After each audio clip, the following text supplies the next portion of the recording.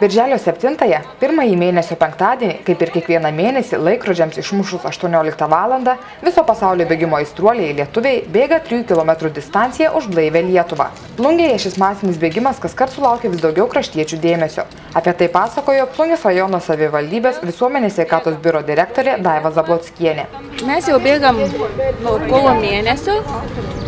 Mūsų gretos vis labiau didėja daugėja bėgam tris kilometrus, nes visas pasaulis bėga tiek.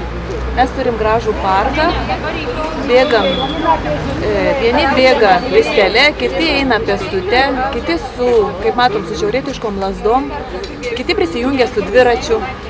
Visi esam už blaivę Lietuvą. Tikimasi, kad kuo toliau, tuo daugiau plungiškių įsitrauks į šią sveikuolišką akciją, skleisdami jos pagrindinę idėją.